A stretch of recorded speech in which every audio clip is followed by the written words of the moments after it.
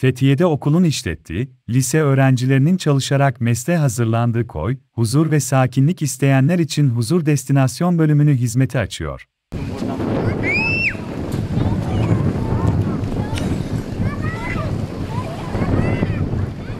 Büyük Samanlık Plajı 2023 yaz sezonu hayırlı olsun diyerek mavi bayrağımızı çekmiştik.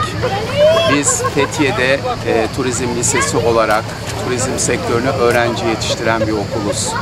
Ve bunu yaparken aynı zamanda öğrencilerimizin emek yoğun bir şekilde bu plajımızda eğitim almasını amaçlıyoruz.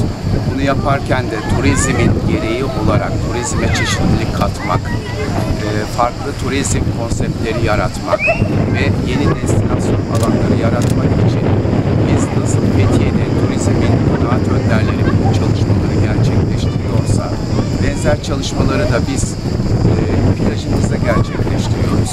Şimdi bizim plajımız iki bölümden oluşuyor. E, büyük A kapısı dediğimiz büyük plajımızın olduğu yerde halkımızın yoğun bir şekilde hizmet aldığı, e, gerek köşklerimizden, gerek şezlonglarımızdan, gerek restoranımızdan, gerekse e, grup kahvaltıları, grup etkinliklerinden faydalandığı bir bölümümüz var. Bu bir konsept yaratmak istedik. E, B kapısı dediğimiz e, küçük plajımızın yerde daha böyle e, huzur arayan, kalabalıktan uzak, oturup kitabını okuyacağı, e, sessizlik içerisinde doğada Ağustos böceklerinin e, sesini dinleyeceği bir alan yaratmak istedik.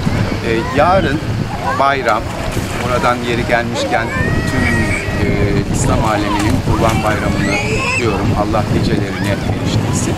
Yarın sabahleyin kapılarımızı huzur plajımıza açacağız. Yani sakinlik isteyen, e, gürültüden uzak, denizine girip kitabını okumak, kendince sakin bir şekilde çam altında uyumak isteyen ve bu şekilde bir beklenti içerisinde olan misafirlerimizi ağırlayacağımız küçük plajımızın yarın sabah itibariyle açılışını gerçekleştireceğiz.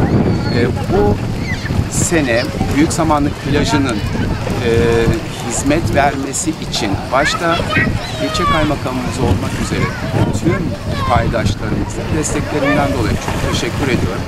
Yarın sabah kapılarımızı güzel, huzurlu bir plaja açacağız. Yani ister A kapısından girip Büyük plaj dediğimiz bölümde hizmetimizi alabileceğiz.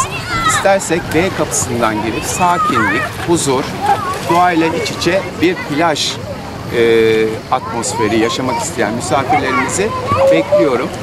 E, bayramımız kutlu olsun, bayram tadında olsun her günümüz. E, mutluluklar diliyorum, teşekkür ediyorum.